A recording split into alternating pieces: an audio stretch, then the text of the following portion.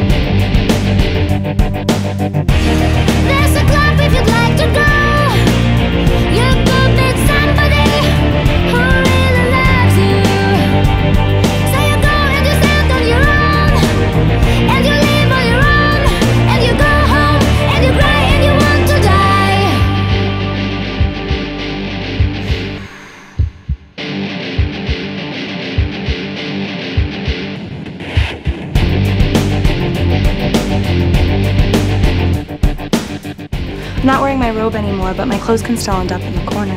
I'm not sleeping with anyone but you. And it's legal, I checked. So can we please just go back to your place and do that? When exactly do you mean?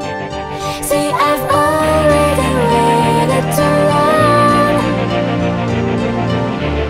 And now my is gone. You shut your mouth.